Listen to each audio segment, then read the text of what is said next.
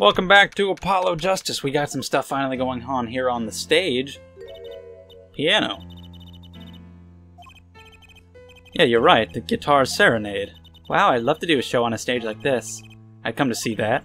The house is full, and as one, the audience sighs with wonderment. There I am, singing my ballad, at The Road. Oh, I thought you meant magic. Not singing. Not bad. Wait, aren't you a magician? Yeah. Oh, that's right, I was a magician, wasn't I? Huh. Oh, you're here again. You're here now. It isn't Miss Trucy, and indeed it is! Uncle Valant! What exactly are you doing here? I take real responsibility in tasks undertaken. I am inspecting my equipment of illusion to make sure naught is amiss, miss. The Lamiroir teleportation illusion, ooh. Should anything go wrong, it should reflect would reflect poorly upon me and my troop. As I went about my exacting an examination, I happened to notice that piano, and I remembered that fair lady's melancholy melody. Hey, Apollo, maybe Uncle Valant can shed some light on this whole thing for us. Okay. Not like we were already talking back at the other at the office. Talk more, please. Lamiroir's vanishing act was your illusion, right? Indeed, the purple prosecutor petitioned my performance. At the climax of the song, he said, Make her disappear like a dream. Like a dream. Yet, what can I work with on a stage meant for musical endeavors? There are none of the conveniences of a stage built for sorcerous acts. It was a challenging task, and so I accepted.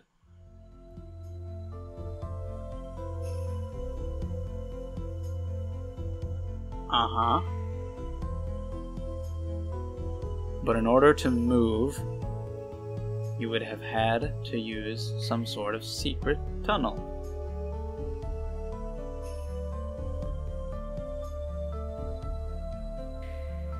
Right. It's still pretty much have to be a tunnel. I sneezed. Oh my god, I'm dying. Help me. I got it. It's fine. Not a bad thing as far as the fortunes of Troop Gramarye are concerned. So, you were here checking up on your trick to make sure it went well? And went well it did. Now, speaking of pianos. That piano over there troubles me. What the fuck's up with the piano? Why do you ask why? What? I think it's probably quicker if I just go check it out myself, thanks. What the hell? I know what you are thinking in that head of yours. Gramarye, yes, you say. I recall seeing him on television. Something of that sort. Uh, actually, yes, you're right. Wow, he just read your mind, Apollo! Or everyone tells him that and he made a good guess. It was twenty years ago. A young magician, a genius of his time, came down among us. His name was Magnifi Gramarye. What's that turtle doing? That's amazing. And the elephant. Great shit. And whatever's on the left. He started it. At his prime, not a day passed that he did not play upon the screens of every TV there was. I do have a vague memory of someone like that on TV. Yet several years ago, that time came to an end. My troop pulled a vanishing act, yes. Cries for magic no longer heard, the TV screen a barren waste, stripped of illusion. That's not true. I still went to all your shows. Like that one in the parking lot down at the supermarket. When you start playing supermarket parking lots, you know you're in trouble. We hone our skill at these small venues, always awaiting our time. Yes, one day we will rise up from obscurity onto fame's shining stage once more. I do this not only for the magic that is Gramarye, but for my partner. Your partner? You mean... Yes, Zak Gramarye. Apollo's father. Why did I say Apollo's father? Trucy's father. Before he disappeared seven years ago. There was no name higher than Gramarye in show business circles. None. I will see us return to glory. I, Valant Gramarye. Okay. Our founder, Magnifi Gramarye, was truly a genius, a worker of miracles. I'll never forget the one I saw when I was little. How he made that whole jumbo jet go. Uh, what happened to the jet again? Apparently, someone doesn't remember it as well as they thought. Of all the would-be magicians who came to his door, only Zak and I had the talent. In no time at all, Valant and Zak were the shining stars in the Gramarye crown. Cool, huh? And Zak Gramarye was my daddy. Now that Magnifi and Zak are gone, I have but one wish.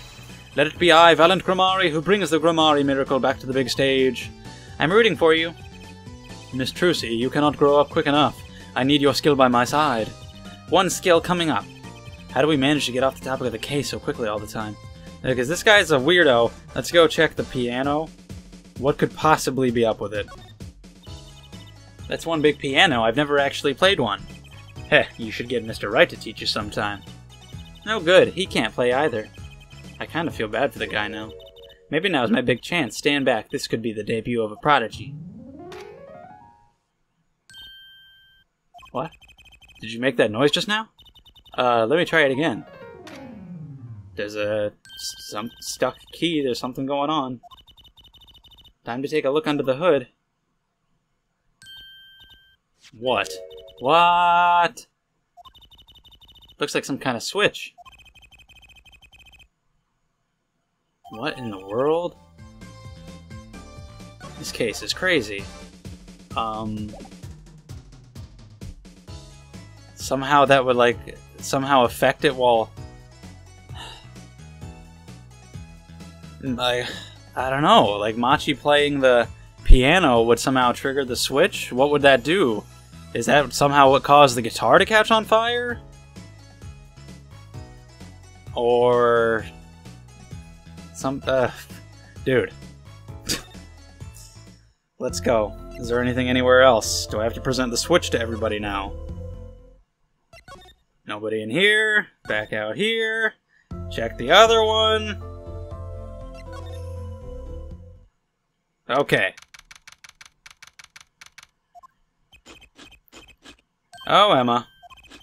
There's only one person I know who can munch with such venom. What are you doing here? Hello, Ema. You're looking as grumpy as ever. Oh, am I supposed to be happy? You give me the second degree in court, and Prosecutor Gavin makes me look like a fool?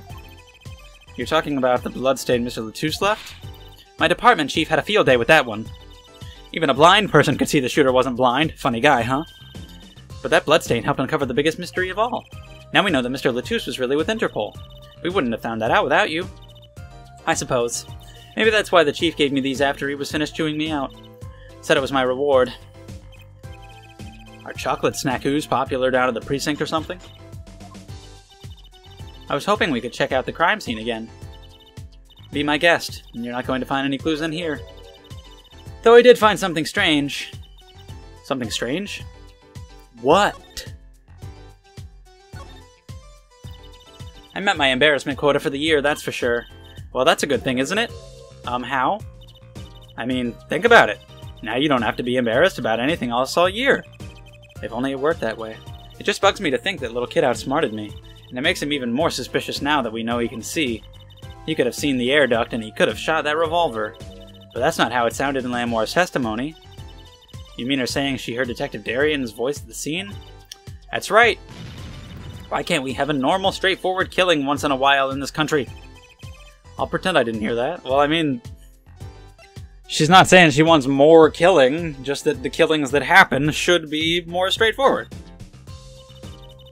Was that true that what you said in court today? You know, about the case? About how everything was happening according to those song lyrics? The Guitar Serenade, you mean? I found the link, you know. Yep, I got it! We've been over this! This is the biggest flaw in the case. Repetition, especially in flashbacks. And this too.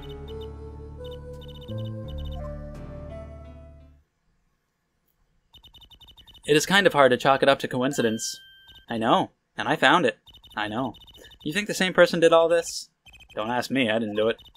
Neither did I. I couldn't fit through that air vent anyway. What? You all think I did it? Yup. Sometimes I worry about that girl. Well. So what did you find? It's so little I must have passed over it yesterday. What the hell? Part of some device, I think. I haven't a clue. What? The bit sticking out from the end looked familiar so I had it examined. Oh, I just realized fucking Gramarye's trapdoor shit is probably somehow how Daryan got out of the room. So that is going to be relevant. But what is this? Ooh, like on a beetle? No. Like on a cell phone, this device must use an electronic signal of some sort. An electronic signal, you say? Huh. Uh, uh, uh, of what kind? Well, what do you think about the Switch, first of all? We don't have that. Can't present it. I'll present the Switch. Because they gotta be connected. Small device. Looks like a transmitter. A transmitter? You press the switch here and it sends out a signal. No idea what it's for, though. Can we press it? What is it, Apollo? Say, Ema. You know that strange object you said you found? Oh, this? Let me try pressing this switch. Whoa! Yep. It did cause the guitar to catch on fire. Yeah.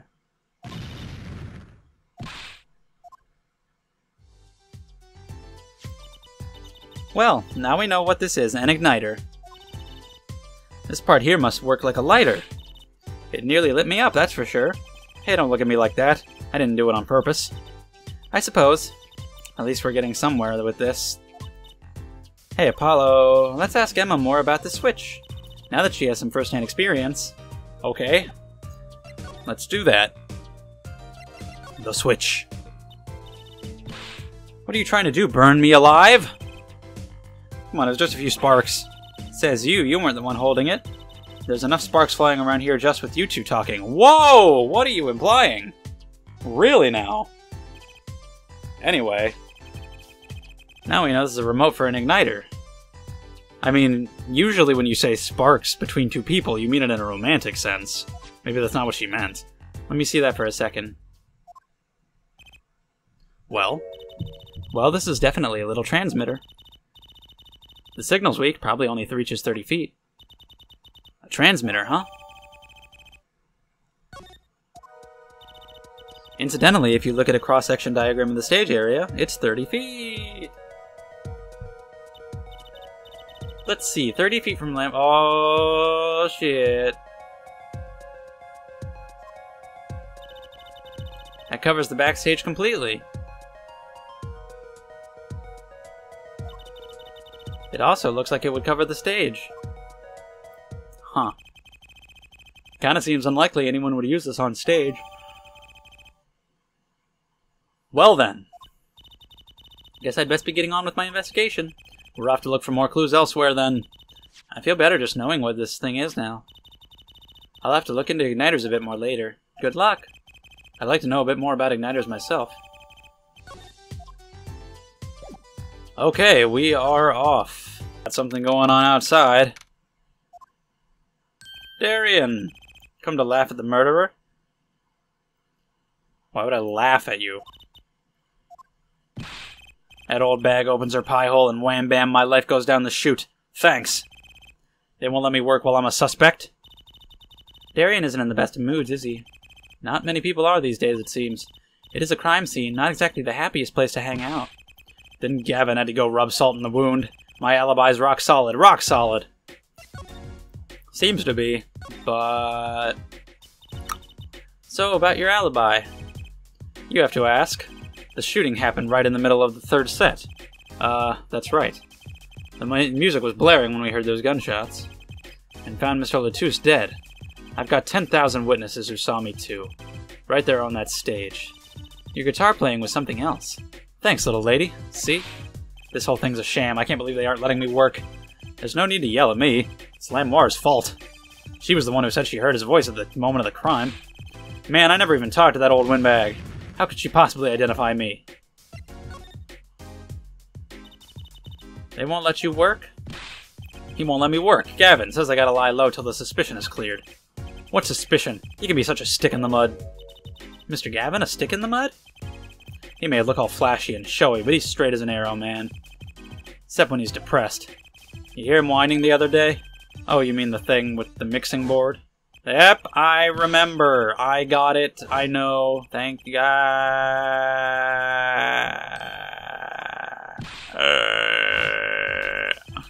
He's just a perfectionist is all, not a bad guy, really. Well, I think the Gavinners are the best. I have all your albums. The band's fine, too. Gavin can write a good tune, I'll give him that. Come to think of it, I haven't seen Prosecutor Gavin around much. Oh, him? He's down at the prosecutor's office, most likely. Prosecutor's office? I've never been there, have I? The data on the victim should have come in from the Inter from Interpol. Normally, I'd be down there dealing with it, normally.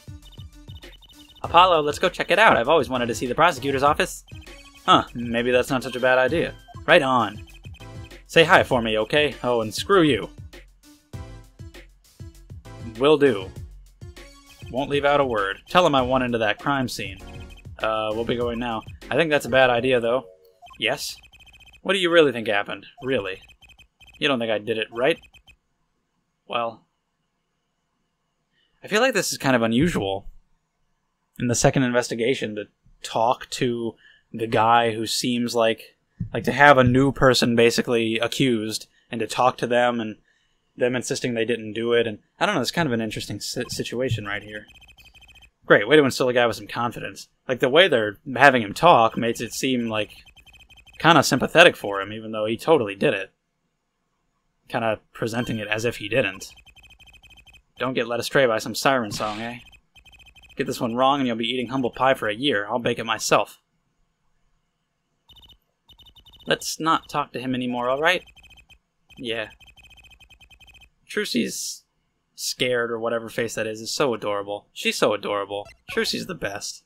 Anyway, let's go to the prosecutor's office.